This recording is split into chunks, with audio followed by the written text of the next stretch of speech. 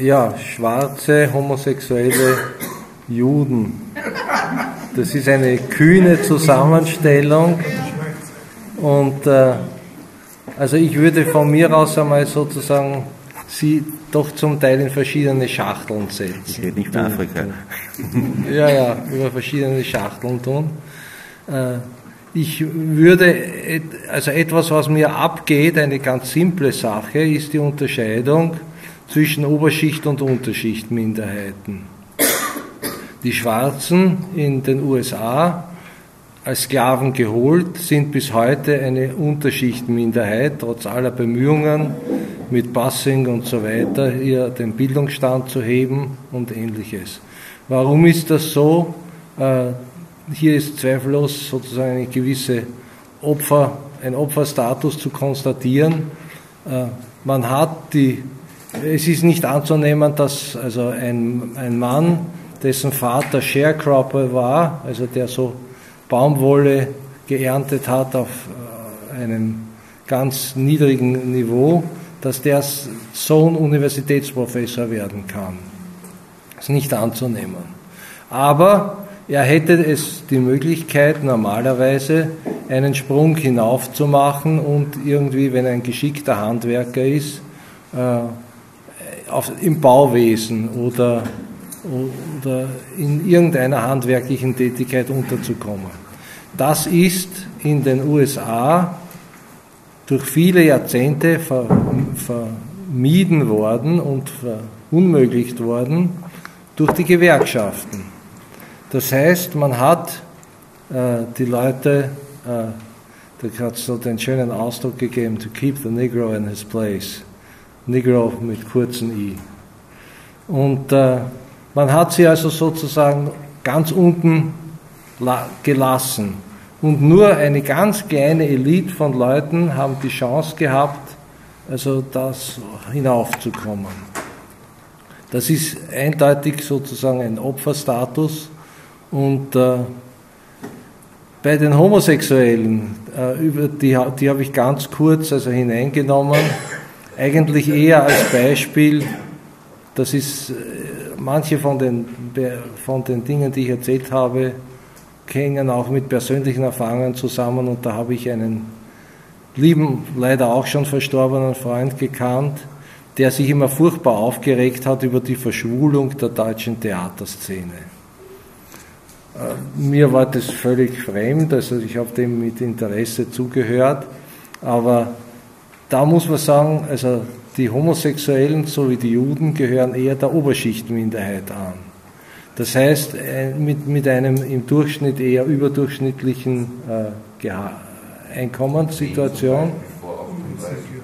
Bitte? 80 Prozent Armenbegräbnisse bei den Juden vor 38. Naja. Nur als Fußnote. Ja, aber die Armenbegräbnisse hat es wahrscheinlich bei den anderen eben zu, zu 90 Prozent gegeben. Ja. Können wir nachher. Ja. Na, ich meine, das hängt auch mit dem Bildungsstand zusammen. Du kennst die Statistiken bei den Juden, auch vor 38 mit den starken Besetzungen der Fächer, sozusagen Rechtsanwalt, Arzt, auch im Journalismus. Die haben nicht alle gut verdient, das ist ganz klar. Aber ein Teil dieses, dieses wilden Ressentiments und äh, und der, äh, wie soll man sagen, der Gemeinheit, die sich da gegen die Juden gerichtet hat, waren ja auch Konkurrenzneid einfach. Da hat also der Götz Ali schon recht, äh, diese, dieser Neidfaktor hat eine große Rolle gespielt. Also ich glaube, man kann, ich weiß, es, es kommt sozusagen das Argument mit den, es gab viele arme Juden, aber trotzdem in der, in der Wiener Gesellschaft, in der, in der deutschen Gesellschaft auch, war es so, dass sozusagen die durchschnittliche Einkommenssituation und Bildungssituation war eine bessere. Und das gilt, würde ich sagen, heute äh, auch für die Homosexuellen.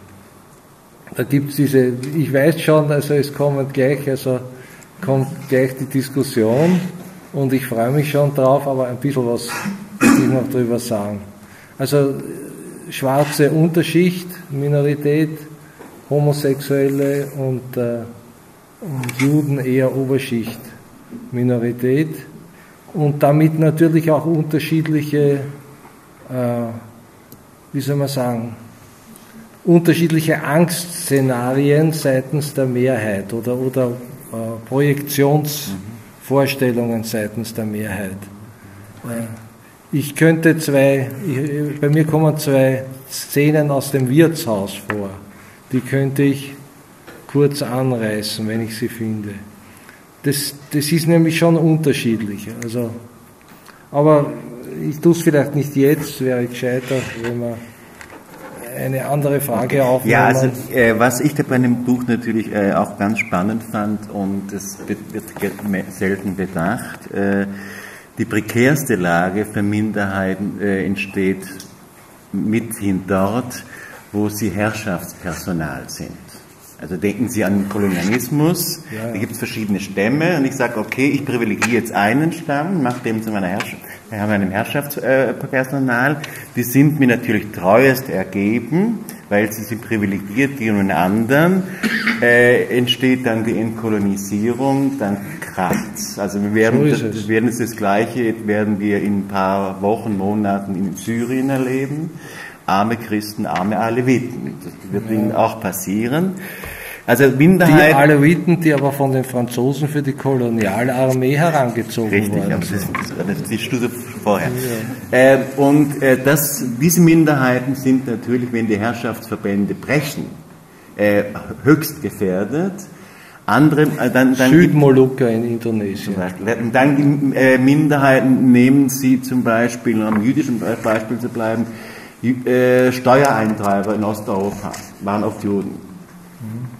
Gutsverwalter. Hat man, hat man natürlich wahnsinnig gerne abgegeben, äh, weil das war der unangenehmste Job, äh, den es gab, die Steuern einzutreiben. Sagt, das soll der Juden machen. Äh, das, das, das, das bringt natürlich den Antisemitismus zum Kochen, sowas. Also wer sich auf die Minderheiten, die sich auf das Spiel einlassen oder teilweise einlassen müssen, weil sie keine andere Möglichkeit haben, die sind aufs Höchste gefährdet und da bringen Sie ein paar wirklich sehr schöne Beispiele. Ich weiß nicht, ob Sie dazu noch was sagen möchten.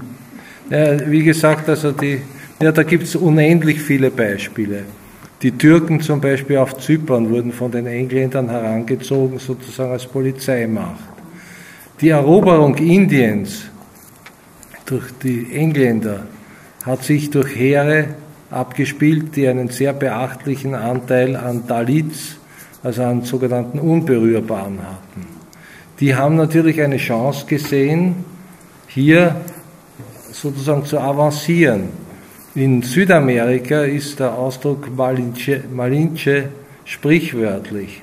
Malinche war die Freundin sozusagen von Hernán Cortés und sie war von einem Stamm, der von den Azteken unterdrückt wurde. Und natürlich, wenn sozusagen ein, ein fremder Eroberer kommt und die eigenen Leute sind unterdrückt worden, schließt man sich dem an. Das ist ein, ein Mechanismus, der ganz rational und ganz normal ist. Und das kann natürlich zu furchtbaren Dingen führen. Ich sag's, und nämlich auch zu, zur Eskalation. Beispiel Irland, Reformation. 1541, Heinrich VIII. Versucht die Reformation auch in Irland durchzusetzen, misslingt. 1560, Eduard VI. beginnt mit der Siedler, Ansiedlung von protestantischen Engländern. 1609 James I. Ulster Plantation. Was haben die armen Iren gemacht? Die haben natürlich immer konspiriert mit den Feinden Englands. Aufstände sind unterstützt worden von den Spaniern, wie die Spanier Hauptfeinde Englands waren. Sie sind unterstützt worden von den Franzosen, wie die Franzosen Hauptfeinde Englands waren. Da hat es eine ganze Exilarmee gegeben. Ein beachtlicher Teil der französischen Armee hat aus Iren bestanden. Ein paar Iren haben sich auch ins katholische Österreich ver, verfügt oder verirrt. Aufstand, der letzte Aufstand 1916, das sogenannte Easter Rising, von den Deutschen unterstützt worden im Ersten Weltkrieg. Also das ist jetzt natürlich kann man das alles so interpretieren von der Mehrheitsseite, das sind lauter Verräter. Ja, das sind Leute, die also einfach mit dem gegenwärtigen Regime nichts zu tun haben wollen und die sich dagegen verwehren und verwahren. Und natürlich nehmen sie eine andere Position an. Und ähnliches, nur um das kurz zu fassen, betrifft natürlich die Armenier und das, und das Osmanische Reich. Äh, womit ich in keiner Weise sozusagen den Genozid des Jahres 1915 gutheißen möchte. Aber die andere Geschichte wird meistens nicht genannt. Und das, das ist eben mit ein, ein, ein wesentlicher, schlimmer Punkt. Und da kommen wir natürlich auch auf die Geschichte der Arbeiterbewegung hinein. Natürlich haben sich die Unternehmer im 19. Jahrhundert wenn sie Streikbrecher gesucht haben, die von draußen geholt. Das waren die Iren in England, das waren die Schwarzen zum Teil in Amerika, in den USA. Die Belgier in Frankreich. Die Belgier und die Italiener in Frankreich. Italiener zum Teil auch in Österreich und in Deutschland.